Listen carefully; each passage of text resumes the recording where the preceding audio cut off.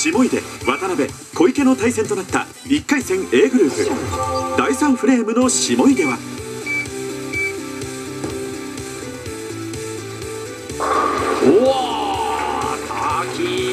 ここでターキーを決めトップを走る。渡辺小池もマークしゲームは第4フレームへ。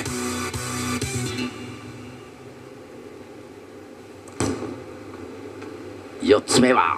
おお今のは本当に狙い通りのラインを投げられましたね。練習ボールもね前半ちょっと違うボール使ってたんですが、途中から今使っているボールに変えて、お。まあ、ほぼほぼストライクだったんですね。おお、そして渡辺プロはここでボールを変えましたね、えー少し曇っているあのレーンキャッチの強いボールから走りの出るボール。このはい。はい。先の動きはすごく出るんですけれどもね小池プロが使っているボールと同じボールですねバイオレットブルーとでも申しましょうか。あーっといい感じでしたが。惜しかったですね。今ちょっうん。とラインがね、ええ。ー外目すぎたというところでね。あそうですか。ただこのボールチェンジはおそらく、ええあの正解だと思います。あなるほど、はい。小池はどうか。あと熱い。わーっと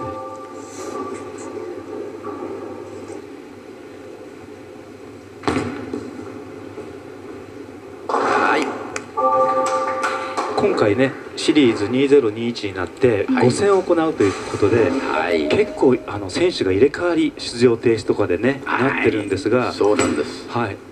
うまい。おあー惜しかったですね。うわーオープンフレームだ。小池崎。この小池咲はまだ出場停止がなかった数少ない選手の一人なんですよね。つまりあの1回戦で3位にはなってないと。そうなんです。はい、4つきた。5つ目。おお倒れた。最後に7番ピンが倒れた。うわーフィフス。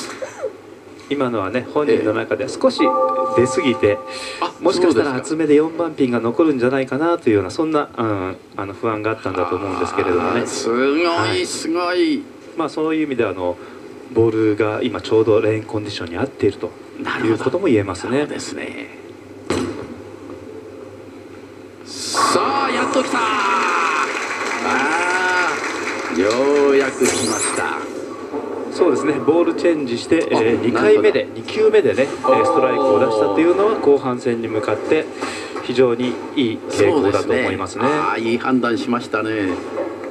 さて小池が4フレ痛い痛いスプリット。